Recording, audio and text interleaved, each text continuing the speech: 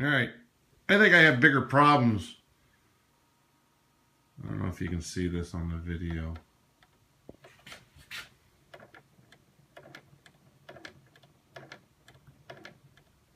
Trying to keep my hand as steady as I can with this damn thing.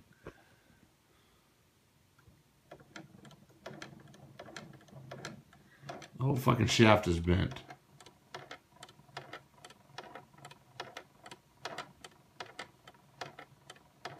You can kind of see it moving up and down here. See if I can get a straight edge on here.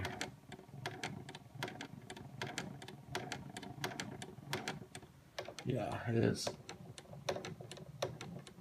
I'd say it's bent.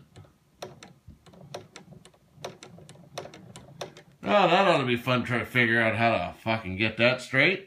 Alright, I think I got it as close as I can get it. I spun it around. I put the bearing at the very end and one down here and spun it around to kind of get me an idea as to how bad it was. And you can see kind of everything was on one side for the most part.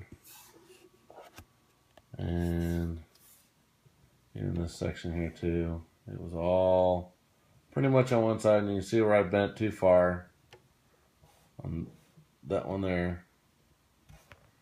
So now it's a little better. Better where it was. I think it's about as good as I can get it. So, in order to get this freaking thing lined up correctly, that's what we're going to try to do.